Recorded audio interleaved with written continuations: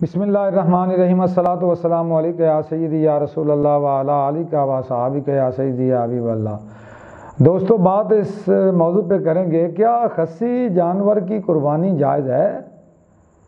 ये सवाल आम तौर पे पूछा जाता है और कई दोस्त अब आप पूछते हैं और हर साल पूछते हैं। हर साल उनको जवाब दिया जाता है तो मैंने चाह, चलो आज ये एक क्लिप रिकॉर्ड करवा देता हूँ जो मुस्तकिल तौर पे नेट पे मौजूद हो, जब चाहें दोस्त इसको समाप्त कर लें। खसी जानवर की जो कुर्बानी है, बिल्कुल दुरुस्त है। इसमें किसी किस्म की कोई परेशानी वाली बात नहीं है, रुकावट नहीं है शरीयत की तरफ़ से। बल्कि मैं आपको एक हदीस पाक पेश करने जा रहा हूँ, आप इसको समाप्त फरमाएँ कि नबी पाक सल्लल्लाहु ताला सल्लल्लाहु ताला अलैहि वसल्लम कैसी कुर्बानी किया करते थे। ये सोनाना कुबरा में हदीस पाक है काना रसूल सल्लल्लाहु अलैहि वसल्लम, इज़ा दाब कबशैन जब नबी पाक सलाम कुर्बानी करना चाहते तो हुजूर दो मेंढे मंगवाते। कबशैन दो मेंढे अजीमैन जो बहुत बड़े होते, यानी सैज़ के अतबार से बड़े सैज़ के वो मेंढे होते। समीनैन और वो मोटे ताज़े होते। साफजार है जो बड़े होंगे, वो मोटे ताज़े भी होंगे। सेहतमंद वो मेंढे होते, अमल अमलहैन सुरमई रंग के होते वो। और आगे फरमाया, मौजी यैन, वो दोनों के दोनों खसी हो गए। और फरमाया अकरनैन सिंगों वाले। तो नबी पाक सल्लल्लाहु अलैहि वसल्लम ने इस तरह के मेंढे मंगवाए, कुर्बानी करने के लिए। जो अजीम भी थे, जो मोटे भी थे, जो खसी भी थे और जो सिंग वाले भी थे, सुरमई रंग के थे, अब दोनों को नबी पाक सल्लल्लाहु अलैहि वसल्लम ने अल्लाह ताला की राह में कुर्बान किया। फजाबा अहदुमा अनुम्मत ही मन शाहिद लहू बिल बलाग व शाहिद तोहीद, उनमें से एक मेंढा रसूलुल्लाह सल्लल्लाहु अलैहि वसल्लम ने अपनी उम्मत की तरफ़ से अल्लाह ताला की राह में कुर्बानी उसकी पेश की। किस उम्मती की तरफ़ से? हर उस उम्मती की तरफ़ से। जिसने तोहीद की गवाही दी और जिसने नबी पाक सलाम के बलाग की गवाही दी कि हजूर ने दीन का पैगाम उम्मत तक पहुँचा दिया। तो ये हर उस उम्मती के लिए रसूल अकरम सल्लल्लाहु ने एक मैंडा किया।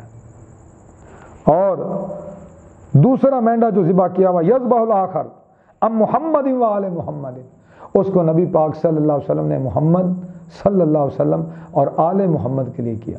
इस हदीस पाक पे आप गौर करें तो हमारा जो मतलूबा मसला है, वो बिल्कुल वाज है कि रसूलुल्लाह सल्लल्लाहु अलैहि वसल्लम ने खुद खसी मेंढों की कुर्बानी अल्लाह की बारगाह में पेश की। जब सरकार ने पेश कर दी तो पीछे शक किस बात का? और खसी होने की वजह से अगरचे उसका अल्लाह तनासुर भी काट लिया गया हो, तब भी उसकी कुर्बानी जो है वो अल्लाह ताला की बारगाह में काबिल कबूल होगी, उसकी जायज़ होगी, क्योंकि ये ऐब नहीं है। इससे तो जानवर मोटा ताज़ा होता है।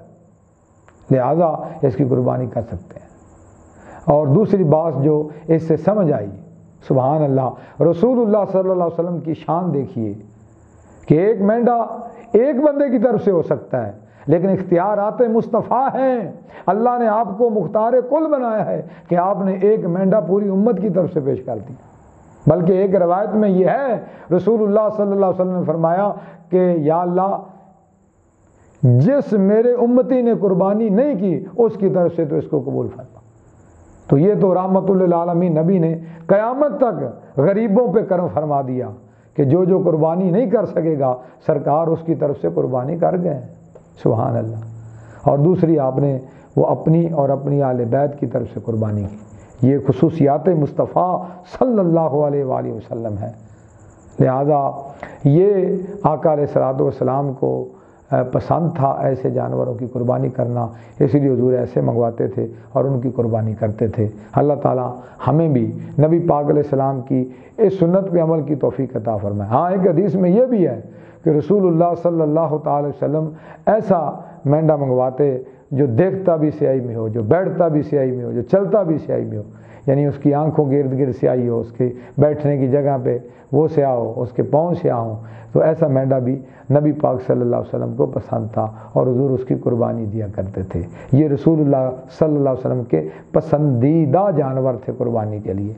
अल्लाह ताला हमें भी अपने पाक नबी सल्लल्लाहु अलैहि वसल्लम की सुन्नत पे अमल करते हुए खूबसूरत तरीन और सेहतमंद मोटे ताज़े जानवरों की कुर्बानियाँ करने की तोफ़ी कता फ़रमाए। आमीन, सुम्मा